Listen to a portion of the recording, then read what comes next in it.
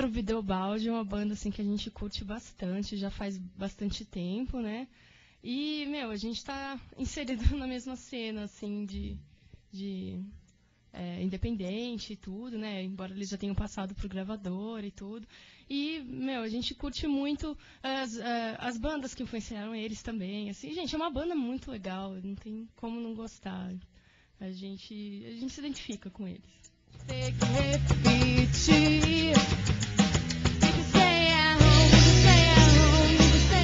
Muito nessas coisas.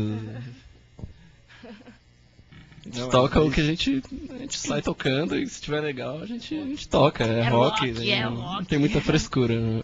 É, porque é chato esse negócio de ficar comparando com outras bandas e tudo. E assim, a gente não se baseia totalmente num som de uma banda para fazer igualzinho, assim. É um negócio espontâneo, assim.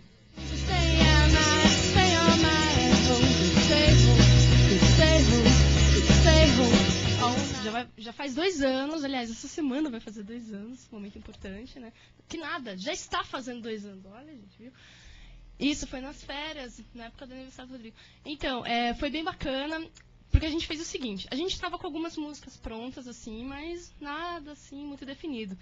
E, assim, duas, três semanas antes da gravação, a gravação já estava marcada, a gente teve um, um, boom de criatividade e eu fiz um monte de música e o Rodrigo também fez umas músicas. E uma semana antes da gravação a gente se juntou, mostrou as músicas, assim, só para ver se estava legal.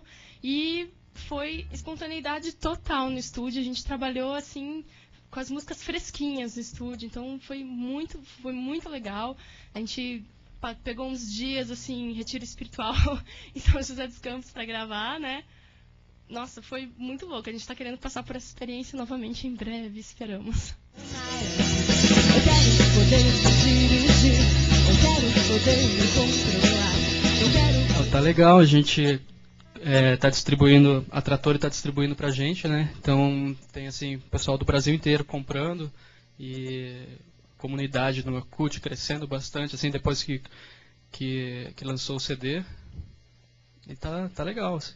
Sim, a gente vai estar tá esperando também uma divulgação também para a imprensa, né, que ainda não, não foi divulgada oficialmente para a imprensa. A gente está aguardando o selo é, mandar também os CDs para os jornalistas e tudo, assim. Mas, cara, de público, assim, já está sucesso total, assim. Então a gente está bem feliz com esse disco que demorou pra caramba para sair. A gente gravou ele em 2004 e só em 2006, agora no começo do ano, que a gente conseguiu lançar, né? Então, quem quiser comprar também, pode entrar no site da Submarino, submarino.com.br e pode procurar. Como a Trator está distribuindo, fica fácil também para o pessoal achar aí na internet, tá bom? Isso aí, segundo disco do Drosoff. É o segundo, né? Isso, segundo.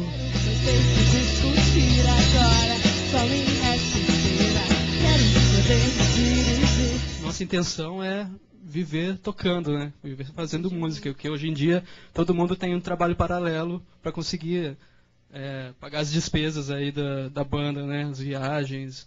Conseguir então, com dificuldade, né? Oh, é, com dificuldade. Então a nossa intenção é que cresça cada vez mais assim para a gente conseguir conseguir viver de música, sabe? É, fazer o que a gente mais gosta sem precisar ter, ter o Quer dizer, ter o tempo integral disponível para música, né?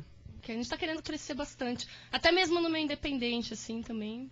Pra, quem sabe, né? Um dia a gente consegue realizar esse sonho.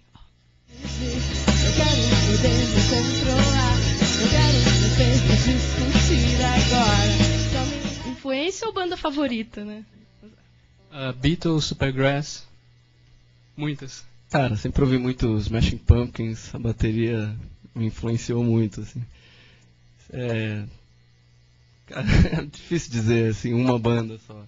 Acho que a banda que mais me influenciou na bateria mesmo foi Smashing Pumpkins e tal.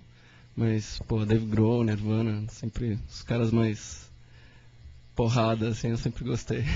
É, é diferente, né? Você falar é influência e o que tu gosta, né? Tipo, eu sempre curti pra caralho, assim, Smashing Pumpkins, mas eu posso dizer que, poxa, me inspirei na Darcy e tal. Você mas assim, o que eu, a banda que eu mais gosto, assim, é Smashing Pumpkins, disparado. Assim. Ia ser mó legal ver a Lane, assim, de chifrinhos, é, delineador preto, blusa assim. transparente. blusa transparente.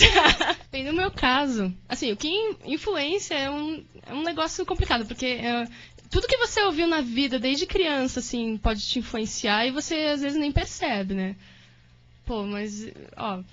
É, quando eu come, resolvi montar banda e tudo, assim, a minha grande musa inspiradora foi a Kim Deal do, do Breeders, né? Eu era super fã de Pixies e tudo. Mas, meu, eu acho que o que influenciou muito na minha musicalidade, assim, foi o Burt Bacharach, que eu ouvia desde criança, que meu pai sempre colocava pra ouvir em casa, assim. Eu sou louca por Burt Bacharach até hoje. Eu acho que é, as minhas músicas são bem melodiosas, assim.